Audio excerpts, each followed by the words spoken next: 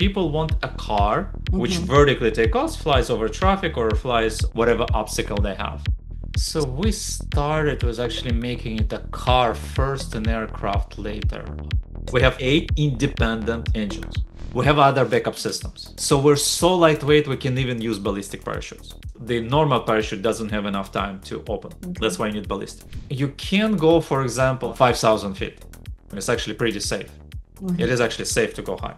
It is actually much harder to pitch science fiction projects because any science fiction will have pretty bad risk analysis, which means it's going to be risky. I drew something on a napkin because I don't have a background in aeronautics engineering. My background is in software engineering and business. So my co-founders are the ones who um, actually had background to build it. So I asked them, uh, how long is it going to take to build the flying car? They said about six months. That was 10 years ago. We're still building.